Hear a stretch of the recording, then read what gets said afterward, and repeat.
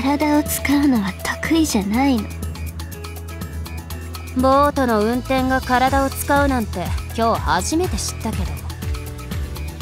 バカ力だからハンドルの重さがわかんないのかもね。銃よりは軽いでしょ。ただあんたが体の使い方を知らないだけ。ダーリン？私って体の使い方を知らないと思う？ダーリンはよく知ってるでしょ。そういうのいいから。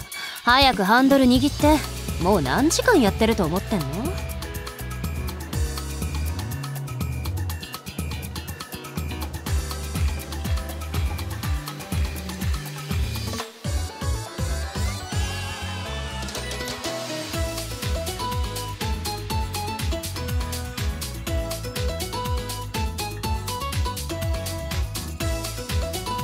師匠口に灰が入りそうですよ。